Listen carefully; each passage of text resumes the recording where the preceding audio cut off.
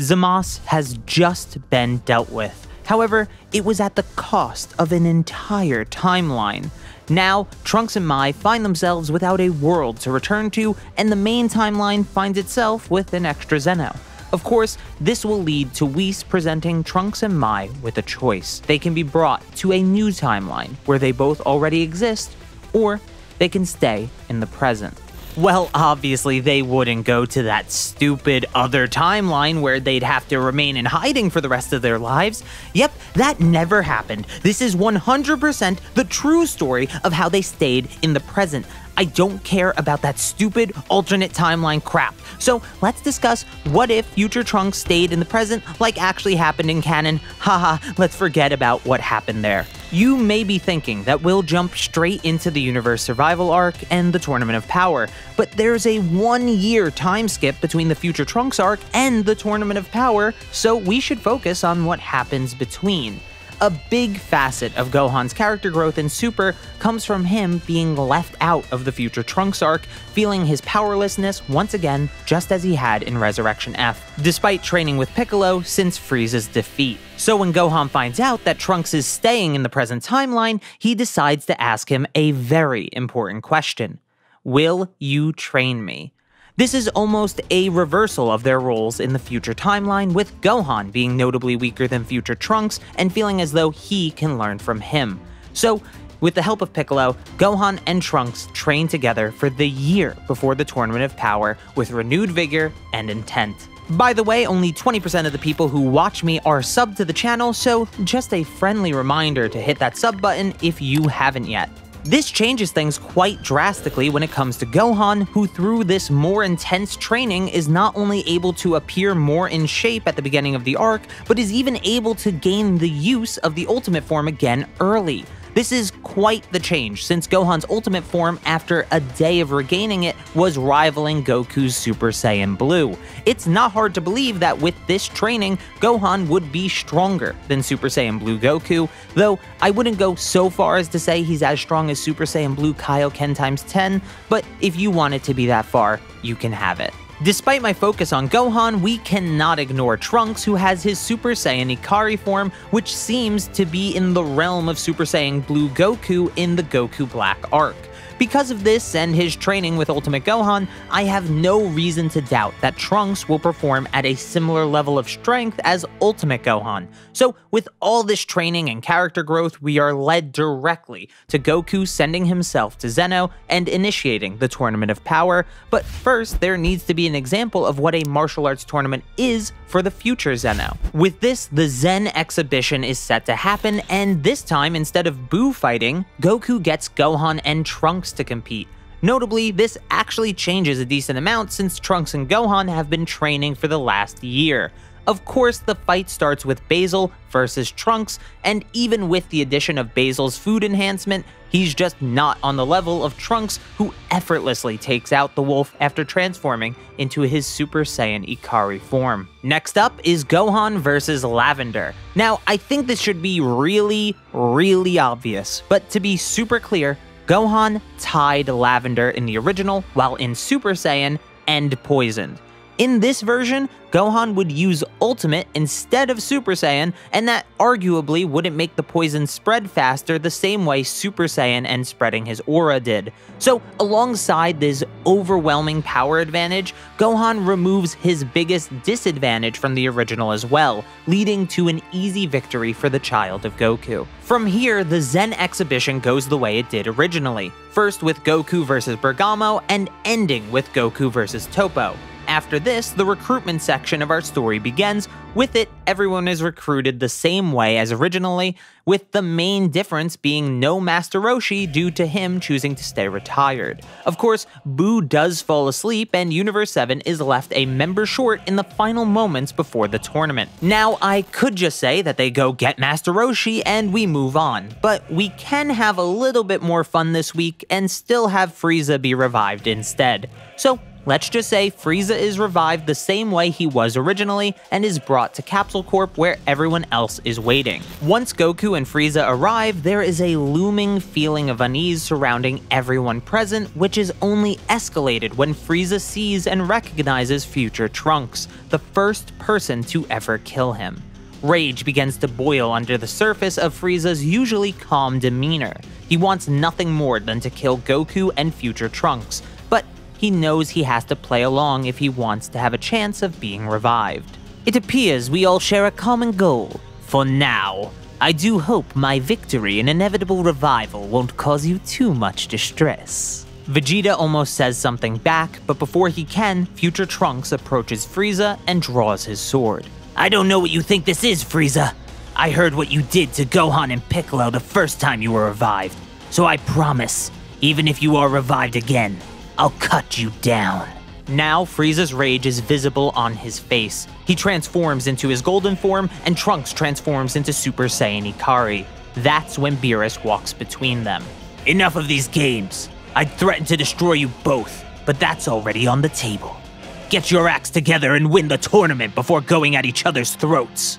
Both look at each other and nod. They power down, and Beerus has Whis replenish everyone's stamina so there are no issues during the upcoming Battle Royale. Beerus then tells Trunks that weapons aren't allowed, so his sword will have to stay. But Trunks already knew that, so he asked Bulma to make him an alternative.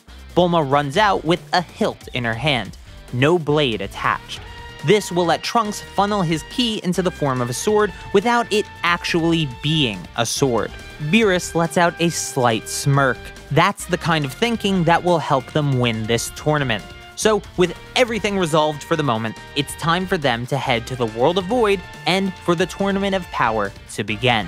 Now, listen, I'm gonna be honest with you. We could spend a ton of time going through every individual fight in the entire Tournament of Power, but I don't think that's necessary with only one character changed, especially considering we replaced one of the weaker characters with a stronger one.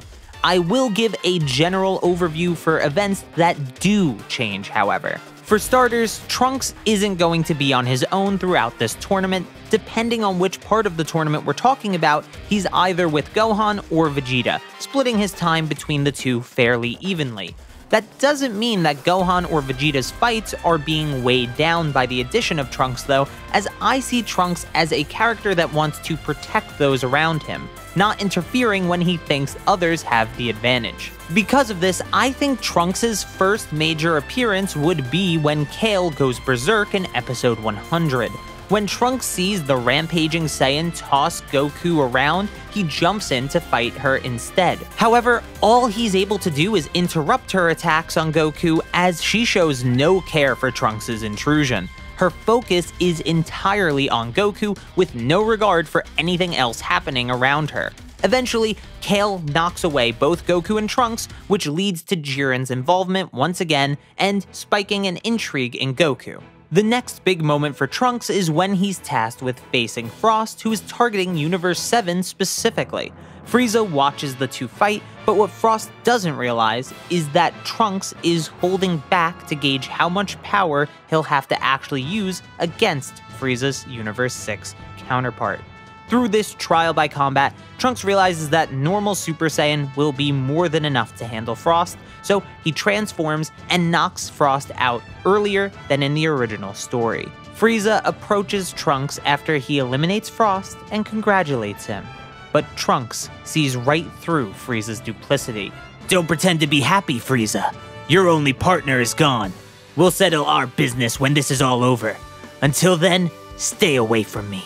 Frieza simply bows and takes his leave, choosing to stay out of combat until entirely necessary or when he truly wants to inflict pain on his opponents. Of course, Frieza's next big target is Cabba, but before Frieza can begin the fight with the Universe 6 Saiyan, he's interrupted by future Trunks.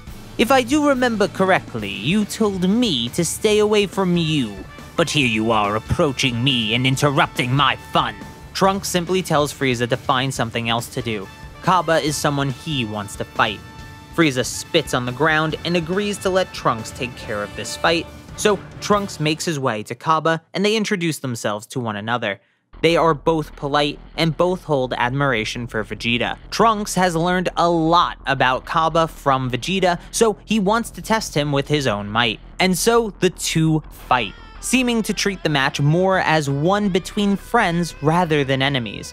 Eventually, the gap between their power and transformations is made clear, leading to Trunks winning the fight, but Cabba is able to be eliminated with no regrets and the hope in his heart that his universe will be revived by Vegeta. From here, events honestly stay in line for the most part until we get to our final two universes, Universe 7 and Universe 11. The big difference being that Trunks is with the remaining members of Universe 7 and helps Gohan and Frieza fight Dispo. With Trunks' help and the extended reach provided by his Ki Sword, they are able to eliminate Dispo without taking a casualty on their side. With Gohan and Trunks still in the tournament, Vegeta doesn't have to handle Toppo by himself, so he can focus his energy on Jiren and not wasting it using a final atonement.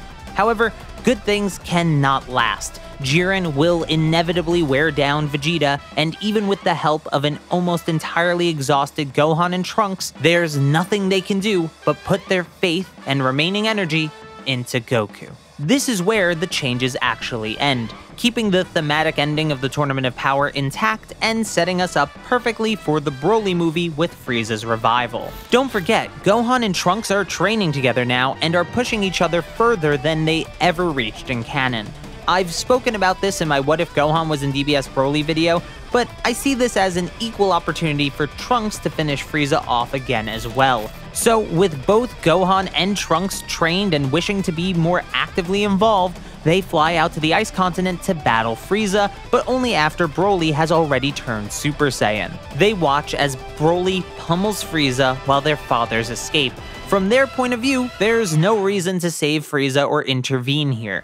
That is until Gogeta comes to the battlefield and the two Half Saiyans can now approach Frieza. The Emperor is running low on stamina, and in his pathetic state, he isn't even able to truly fight back. Gohan simply uppercuts Frieza into the sky, where Trunks comes down and slices the Tyrant in half, then into pieces as he did originally. So, the story ends as it did originally, with the notable difference that Frieza is dead. This may change things in the future, but let's not cover manga arcs for those who wish to avoid spoilers. Make sure you like and subscribe if you haven't yet, and thank you so very much for watching.